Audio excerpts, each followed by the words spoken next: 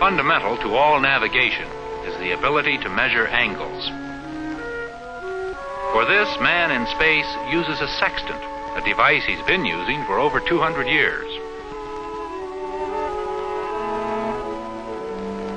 With this instrument, the astronaut measures precisely the angle between a planet and a known star.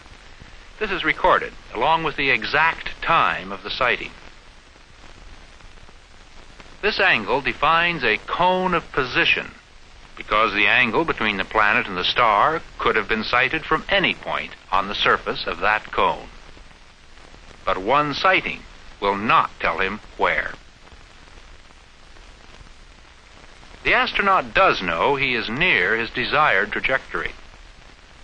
His approximate speed, elapsed time, and limits of possible error locate him within a football shaped volume which navigators call the estimated ellipsoid of position.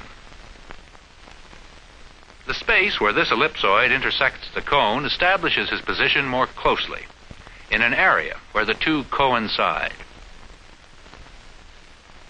From this, he knows about how far he is from his desired trajectory.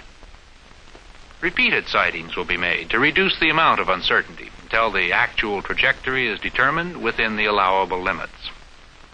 If it does not coincide with the desired one, the astronaut must perform a mid-course correction to put his craft on a corrected trajectory. A more precise method for determining position uses three sightings from separate known bodies. The three cone shaped surfaces intersect and establish a point of position.